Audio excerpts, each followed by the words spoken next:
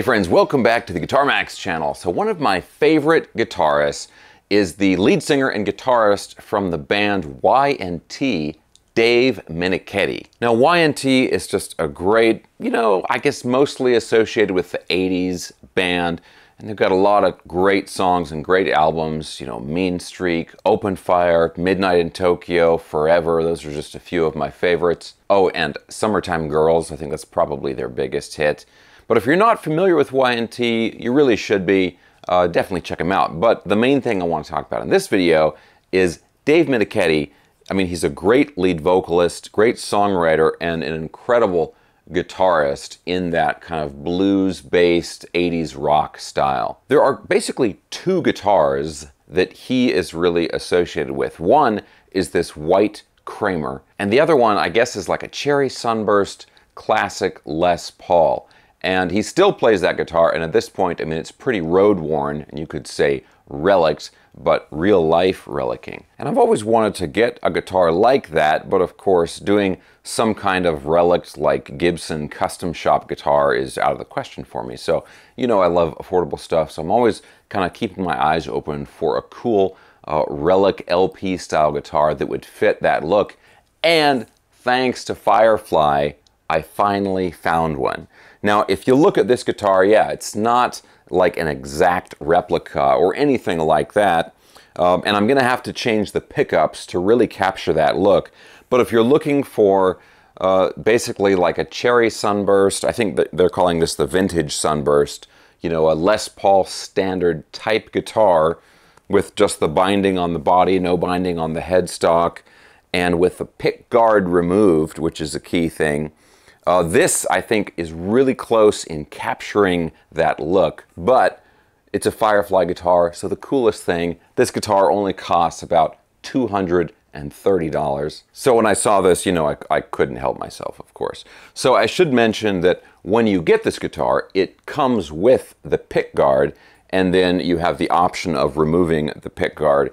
And yeah, it leaves a couple of little holes, one on the surface of the body, one on the side, but the coolest thing is this is a relic guitar, so you don't even notice the uh, empty screw holes once you remove that pick guard. And honestly, this one, I think it looks better without the pick guard. So now for a mere $230 plus tax and shipping, I can play all of my uh, favorite Y&T riffs on an almost authentic Les Paul style guitar. Now, let's go over the specs real quick. Um, but if you're familiar with the Firefly guitars of this body style, it's going to be the same uh, as the other stuff they've done. It's mahogany body, mahogany neck uh, with the flame maple veneer top. Obviously, this is the relic version. Got the relicing on the back of the body as well as the front. Um, and the whole guitar, you know, there's a little bit of relicing on the headstock here, like you whacked the headstock into something. Um, but the whole guitar, aside from that, has like a satin finish on it. And I should mention some Relic type guitars have the hardware Relic as well. This one does not. It's really just the paint job that's Relic. So yeah, spec-wise, mahogany body, mahogany neck, rosewood fretboard. It's got the 22 rounded ball end stainless steel frets that everybody loves. And, you know, a couple of Firefly generic humbuckers.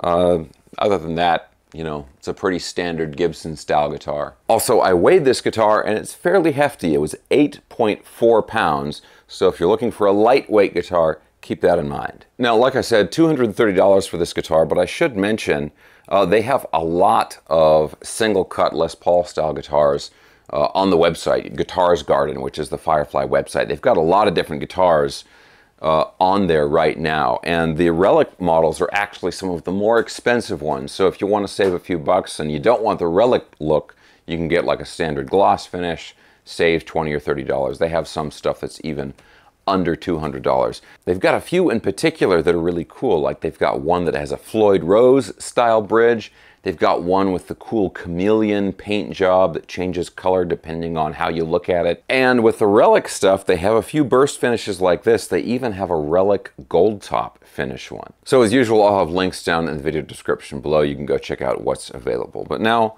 let's go ahead and plug this in. I'll give you a few more sound samples of the different tones we can get out of this guitar.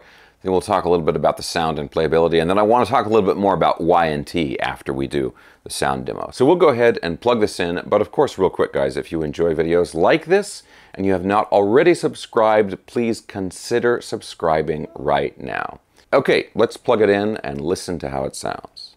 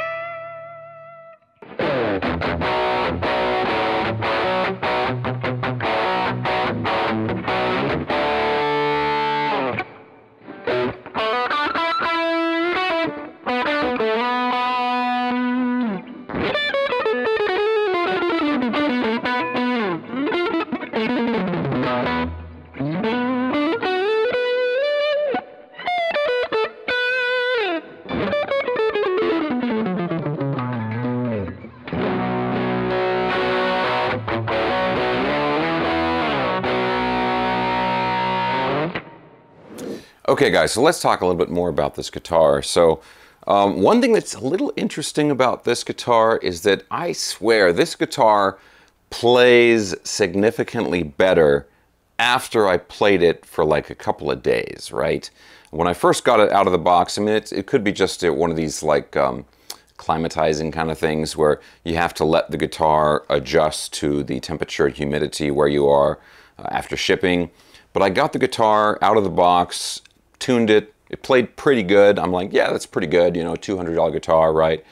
And um, it was fine, but I've been playing it more and more over the past maybe week and a half, two weeks maybe, before doing this video. And now, I mean, it's buttery now. Now it plays fantastic. Uh, obviously, if you're familiar with these stainless steel rounded ball end frets that a lot of these modern guitars are using, um, these are just super, super nice, really, really consistent frets. Um, and this, I mean, the, this thing is so level. It's not even funny, but no buzzing, nothing like that. Now that I'm looking at it, I, I could actually give it a little bit more neck relief because it's like dead straight right now. But there's no reason to because I'm not having any, any problems with it. But um, yeah, I, I have not done any setup work to this guitar. Like I said, I got it out of the box, tuned it, played it, tuned it again, played it more, and now I'm making the video. So it's the stock strings, out of the box setup, uh, and this thing is awesome. The other thing that's really cool about it is with these pickups, they're kind of um, little, little bit loose sounding pickups, kind of a nice raw organic sound to them, and I can get some really nice squeaky harmonics out of these things, you know, pinch harmonics and so forth, which I really like. And the playability and the sound of the guitar combined makes it, as you would expect, the perfect guitar to play those classic Y&T riffs. I rattled off a few songs earlier, but another one I forgot to mention is Black Tiger. Black Tiger, the, the opening riff to Black Tiger has this great um, you know, sort of chromatic dun dun dun dun dun dun dun I mean, it's it's such a cool riff. It's you know very unique riff. One of these riffs that once you've heard it, you instantly recognize it. And speaking of Y&T riffs, uh, I want to give a big shout out, not just of course to Dave Meniketti that wrote those riffs, but there's a guy here on YouTube uh, named Nick Layton, and I'm going to put a link to his channel down in the video description below. If you like those songs and a bunch of the other classic, like iconic 80s songs, uh, he does a ton of really, really good videos on how to play all that stuff. And so if I'm listening to something, I'm like, man, I'm not sure if I'm really getting that riff right, I'll head on over to his channel, Nick Layton, uh, to make sure I'm playing them right. So if you like that stuff, definitely I want to give him a big shout out and definitely check out that stuff. I'll put a link down in the video description below. Okay guys, so that is pretty much it for this video. Um, what do you guys think? Are you a fan of Y&T, Dave Meniketti? Uh, do you like a nice classic sunburst Les Paul style guitar like this? Uh, yeah, it's great. I'm super happy with it. I am going to change the pickups to be, you know, open coil pickups, not covered, so I can really nail that look of, uh, of Dave's Les Paul and everything. But yeah, so far, I'm really, really happy with this guitar. So guys, there's going to be links for everything I was talking about in the video down in the video description below. I'll have a link for this guitar, you know, and all the other uh, Les Paul style guitars that Firefly is selling. I'll have uh, a link for also the Fender GTX 100, which is the amplifier that I used for the demo. All that stuff, social media, everything down in the video description below. Guys, I hope you enjoyed this video. If you did, please give me a thumbs up, subscribe if you haven't already, and I'll talk to you soon.